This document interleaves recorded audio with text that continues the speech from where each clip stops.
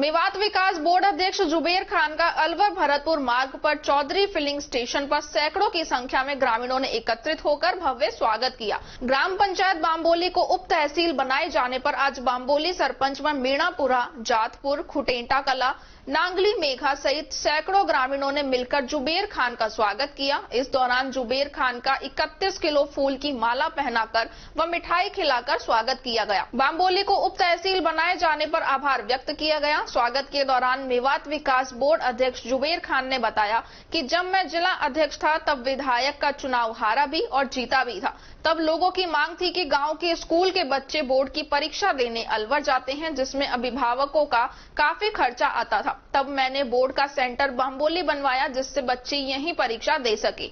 उसके अलावा बाम्बोली क्षेत्र की काफ़ी समय से मांग थी कि यहाँ उप तहसील खोली जाए। बाम्बोली काफ़ी बड़ा क्षेत्र है, इसलिए इस मांग की ओर ध्यान दिया और मुख्यमंत्री ने इस बजट में बाम्बोली को उप तहसील बना भी दिया है। अब एक छोटा सा काम बच गया है। एमआईए से मीनापुरा बाईपास तक सड़क बनवाने का शीघ्र घोषणा की जाएगी। सड़क बन जाने से बम्बोली बीनापुरा सहित दर्जनों गाँवों के लोगों को लाभ मिलेगा। इससे लोगों के समय और टोल टैक्स की भी बचत होगी। बाम्बोली तैतीस ग्यारह के केवी जीएसएस पर एक पाँच एमवीए का तीसरा ट्रांसफार्मर रखवाया जाएगा। इसके अलावा एमआईए केमिकल जोन से केरवा जीएसएस तक अंडरग्राउंड 33 केवी की केबल डाली जाएगी, जिससे आए दिन हो रहे फॉल्ट से निजात मिल सकेगी। बाम्बोली जीएसएस पर अधिक लोड को देखते हुए खुटेंटा कला या खुटेटा खुर्द के आसपास 3311 का नया जीएसएस खोला जाएगा। जुबेर खान ने कहा कि हमारे कार्यकाल में चार नगर पालिका पाँच महाविद्यालय, एक 133 का जीएसएस सैकड़ों किलोमीटर की लंबी सड़क, अस्पताल बनवाए गए हैं। कांग्रेस सरकार ने विकास के कार्य करते हुए विकास की गंगा बहा दी है। पहले के दस वर्षों की अपेक्षा वर्तमान काल में पाँच वर्ष के विकास का अंतर अपने आप दिख जाएगा। लेकिन चुनाव के समय लोग विकास को भूल विरोधी पक्ष के लोगों के जातिवाद के बहकावे में आ जाते हैं। विकास में कोई कमी नहीं छोड़ी जाएगी। इसके लिए आप लोगों का सहयोग चाहिए। इस अवसर पर पूर्व सरपंच बम्बोली वीर सिंह ब्लॉक अध्यक्ष अनूप शर्मा मीणापुरा सरपंच हरभजन, पंचायत समिति सदस्य कुलदीप मीणा, नेमी चंद चौधरी, खुटेंटा सरपंच प्रतिनिधि रामकिशोर यादव, पूर्व सरपंच रहमू खान, किशन चौधरी, रामलाल मीणा रेवड़लाल मीणा, शिवनंदन चौधरी, कैलाश मीणा, रतन गुर्जर सहित सैकड़ों गणमान्य लोग मौजूद रहे।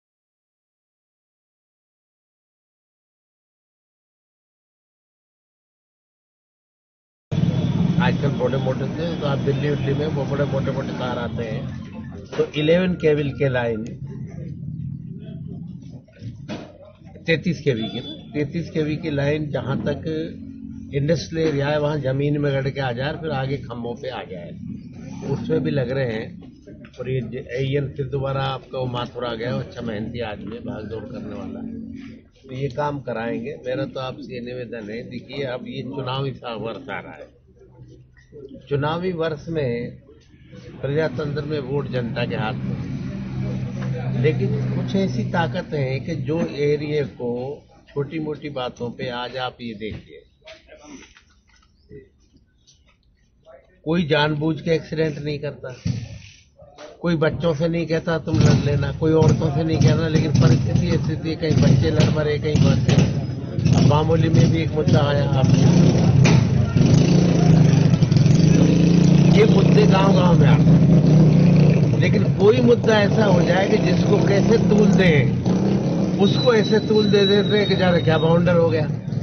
तो ऐसे लोगों से सावधान रहें वो ऐसे लोग आके चुनाव में वोट तो ले जाते हैं, लेकिन विकास नहीं करते आप दस साल पुराने देखिए और पाँच साल ये देख लीजिए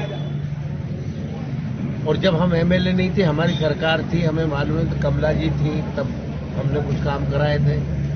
एसीएम कोर्ट यहाँ खुलवाया था रामगढ़ में। आज सबसे ज़्यादा कार्यालय अगर आप देखो, किसी भी विधानसभा में चार नगर पालिका नहीं है। यहाँ रामगढ़ में भी नगर पालिका है, बड़ौदा में भी नगर पालिका है, गोविंदगढ़ में भी है और नौगांव भी हो गई।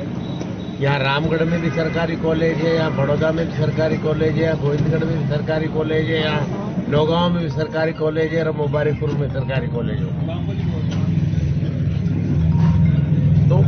काम जो कराने के हैं, उनको कर रहे हैं और सबके काम आ रहे हैं। अब ये जो सड़कें बन रही हैं, तहसीलें बन रही हैं, स्कूलें बन रही हैं, ये जनता के काम आएगी, कोई मेरे काम थोड़ी आएगी, सबकी आएगी जो भी उस इलाके में रहता हो। तो देखिए, हमको अपनी मेहनत का खाना है, अपने कमाई करनी है, सबको एक दिन मिट्टी में मिल जाना है, कोई दाग लगा दिया जाएगा, कोई दफना दिया जाएगा, ये छोटी मोटी बातों पे वातावरण खराब होने से नुकसान ही फ़ायदा हो जाएगा। अब समझदार आदमी जहाँ भी कोई पंगा हो जाता है उससे परेशान होता है वो समझदारों की कमी तो कम रहेगी अब तो मुद्दे की बात करने वाले ज़्यादा रह जाएँगे। तो मेरा आपसे गुजारिश है और भी जो कोई काम बच रहे हो हाँ, अभी पाँच छः महीने तक काम होएँगे छः महीने बाद तो फिर आचार संहिता का चक्कर चल जाता है तो छः एक महीने